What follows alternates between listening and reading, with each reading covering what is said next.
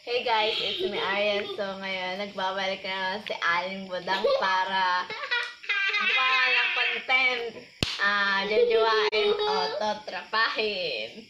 Okay, bago natin ipagpatuloy ang ating video, syempre, intro pasok.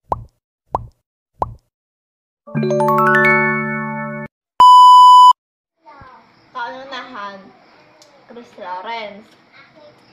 Syempre, mapugi-pugi, masipag-sipag, ha, baka, ano yun, sa sorte kayo.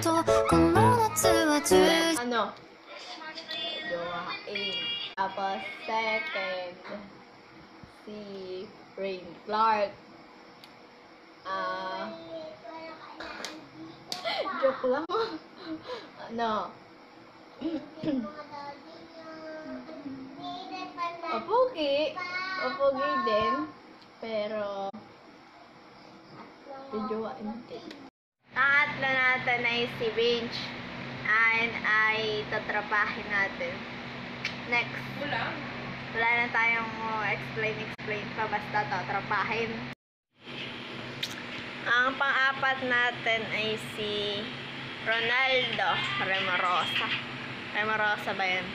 Basta, Ronaldo. Tatrapahin din. Next. Panglima. Si Anthony. Si Anthony. Yun lang.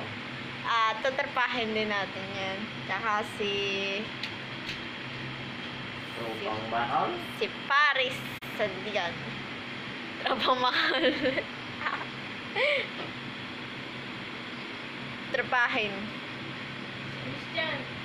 Basta dalawa lang ang iniingatan ko.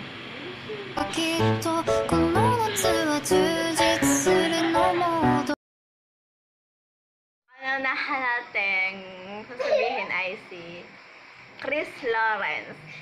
So, nahiya ako. Tintek, ah... so, bias natin ay si Chris Lawrence. Ito. Hmm. Lag, ang tag, basta. So, first natin ay si Chris Lawrence.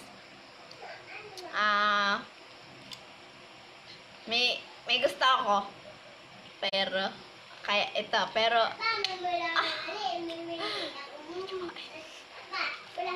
Hoy, challenge lang ito ha. Challenge mo lang magagalit kay mama, papa. Ah, che che che che lang natin to. Yang hindi totoo, hindi to totoo. Sludge. Tsaka si, ang sunod ay si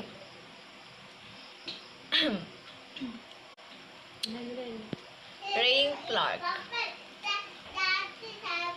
Ano, tatrapahin. Charot!